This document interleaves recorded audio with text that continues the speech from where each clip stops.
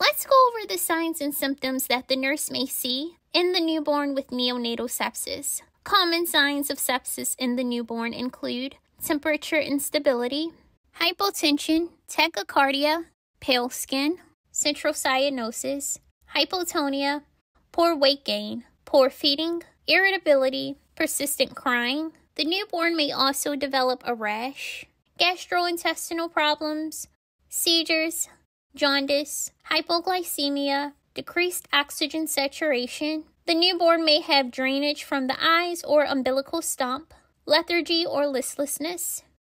The newborn may also display signs of respiratory distress syndrome. The biggest challenge neonatal sepsis poses to the nurse is that the symptoms are usually subtle or vague, but these newborns can deteriorate rapidly. So, if the nurse sees any of these signs, they should notify the pediatrician right away.